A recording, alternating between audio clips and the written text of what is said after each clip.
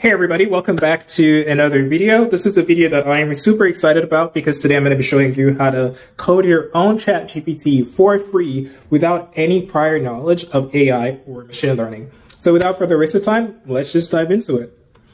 Um, so when you think about chat GPT, what it does exactly is it pretty much has like a front end where you can see the chat messages and then it has an AI model at the back end where your messages go to. It has some interactivity on the front end where if you click a button and make sure to send that over to through an API to the AI model, gets a response and sends it back. So that's exactly what we're going to be doing. And this is why I love the internet, because someone has made a chat GPT user interface Figma file. Uh, we can just get it as a screenshot and then use screenshot to code to make the UI. Awesome. All we have to do now is to add the screenshot of ChatGPT. And then what Screenshot to Code is currently doing is it's analyzing the um, screenshot using ChatGPT Vision, and it's producing the front-end code for it, um, which is super amazing because this would take like a front-end developer um, probably a week to get this UI up and running. Uh, if it's a good front end developer, a couple of days, but you can do it in a few seconds as you've, you've seen. And the great thing about this is you can also nudge it to change a few things around the UI. For instance, I noticed it didn't add the input box here. So add the input box. And now it, it has added the input box, but it didn't add the send button. So we needed to add the send button. So just told it to add a send button in the input box. Update.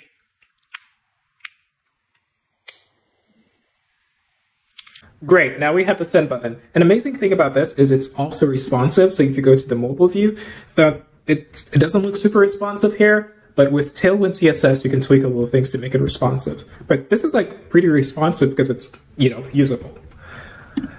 And if we go over to the code, you can see we have the code here. I'm just going to copy it, paste it in my VS Code, and we should be good to go.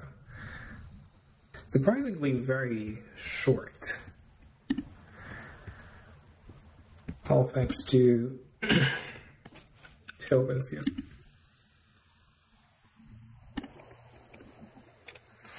So if I open it in the browser, this is how it looks, which it's pretty similar to how the original screenshot looked. I'm, I'm fine with this. A few things I noticed, like this um, disclaimer, it should be at the bottom and not at the top. Let's fix that real quick.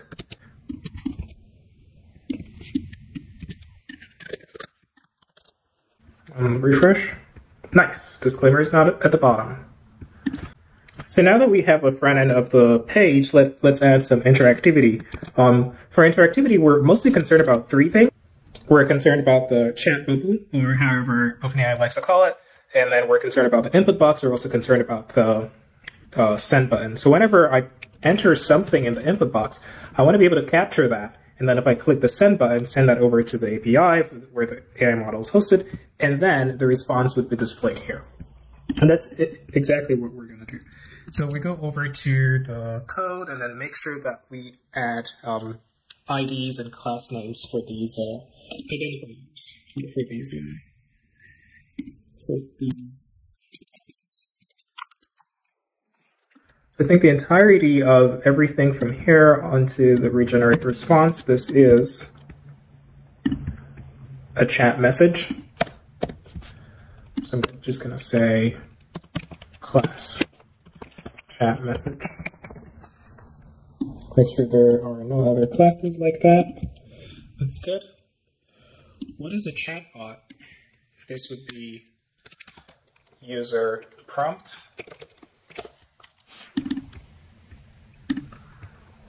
And then the response, this would be um, AI response. And then over here at the bottom, we have the input box. Let's find it. There'll only be one input. Let's say message input. And then this is a send button, so let's just call it send button. Now that we have identifiers for all of the um, all the elements that we need. I'm just going to copy everything, go over to ChatGPT on a new chat, and then ask it to create interactivity for these three elements. And then we have a prompt here that we're going to ask ChatGPT to create interactivity. So I'm going to put the prompt for this in the code, and all of the code will be available on GitHub. Check it out. Simply what the prompt does is it tells ChatGPT to act as a world-class JavaScript developer, and then just using plain JavaScript, uh, whenever the user clicks on the, the send button, get the content of the input box, create a chat message, and then add the chat message to chat history, It makes a post request to the model API to get the model uh, response, and then once it gets the model response, it um, it replaces um, the AI response in the chat message with the model response. And if there is no response from the model, if there's an error, it just says, oh, hey, there was an error. And then we're going to provide it with the front end code and the model API format. Um, we have not provided it with the model API format yet. Let's go over to LangDrive and then see what the model API format is. So LangDrive is an amazing open source um, AI library that allows you to train um, open source LLMs and then also host them and call them uh, via a simple API endpoint. So it's very simple to call a model. Uh, if you scroll over to LangDrive Playground, you can see like the different kinds of um, AI models that are supported. And then there's there should also be a model supported called Mistral 7B. Um, that's what we're going to use. I, I found like Mistral 7B is a little better than Falcon 7B. And then this is the API reference. This is the URL where you call the AI model to get the response from, uh, let's say, chat completions. So we just copy this, right, over to here for model format. We say endpoint would be this. And then request body.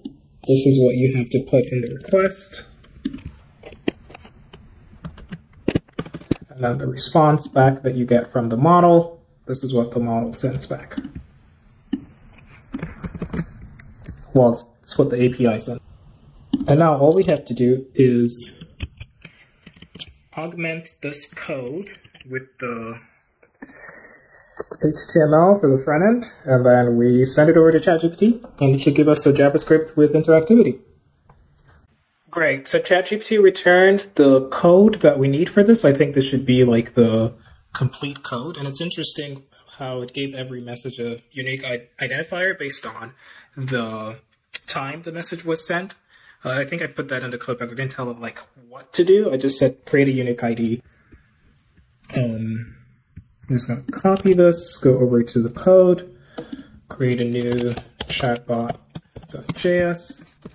add this there, remove this, remove this, format document,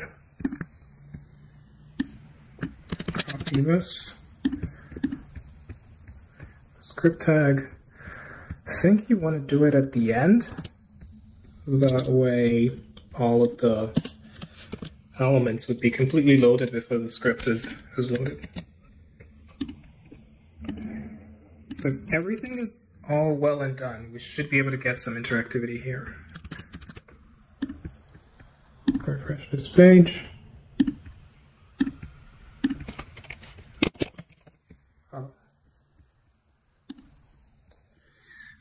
It says hello, thinking.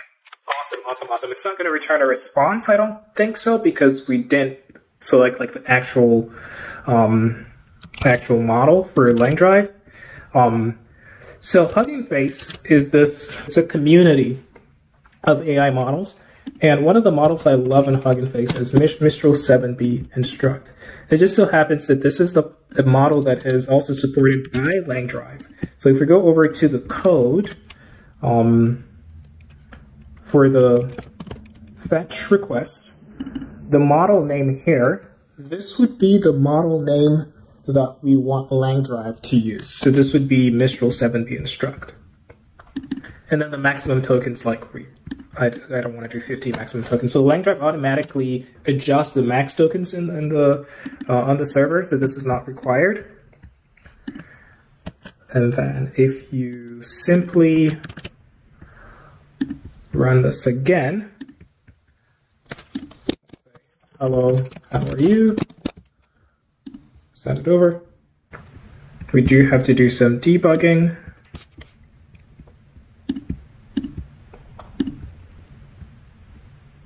Okay, I think I know what the problem is. So I tried going to this, uh, I tried hitting this endpoint, uh, langdrive API the langdrive.ai slash v1 slash chat slash completions. Turns out that it is not slash chat slash completions, and I have just fixed it. Uh, it is slash completions. It's not a chat completion. It's just a simple like QA completion. I do know this because I am one of the contributors to the open source project LangDrive, and I have just fixed this. So if we go over to the code and then do slash completions instead of slash chat completions, we should be able to get meaningful results.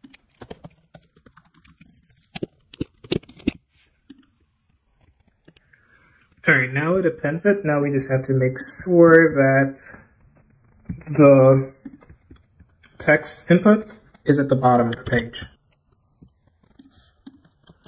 So if we do justify content space between, yes. And then, hello, how are you? All right, nice. So, so instead of asking it, hello, how are you, let's try something that's more, something, something that's more interesting. So, for instance, write an email to schedule a meeting.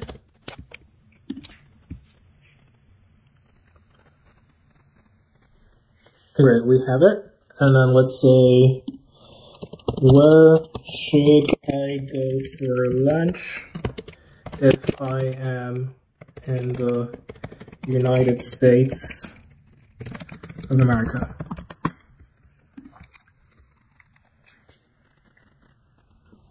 Oh, cool. It tells you about Burger King, uh, McDonald's, quite a bit. Let's do something around Tell Me a Joke.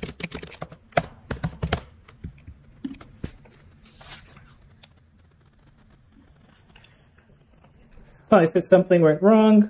Sorry, something went wrong. Please try again. So the, the error state is being cut. It's the um, expected behavior. Uh, so that's good. So tell me a joke about a chicken. Uh, what name is given at birth to the to the most chickens? Pecky. that's, that's that's of funny. All right, so that is how you can create your own Chat GPT for free without any prior experience with AI or machine learning uh, using the tools Screenshot to Code, um, very amazing tool, a LangDrive, which allows you to host and train open source LLMs and then call them with just a single API. Um, full disclosure, LangDrive is a project that I'm a contributor to. Um, we really want to make it easy for any developer to go from having zero knowledge about LLMs to building their first LLM application in under five minutes. And as you can see, setting up the LangDrive API to call uh, Mistral 7b was actually very simple. I think it was the most simple part of this implementation that I did today. So check out LangDrive. All of the code for what we've done today for the ChatGPT that we made will be in this repository um, at EAI slash LangDrive. I'm going to put the link in the description. Uh, check it out. The code is under the folder directory uh, demos slash LangDrive ChatGPT demo. You have the chatbot.js. That's the JavaScript that we created using ChatGPT, and then there's the index uh, HTML using screenshot to code. Awesome. Thank you so much. Hope you have fun with this. Really uh, extend it, do whatever you want to do with it, and see you in the next one. Bye.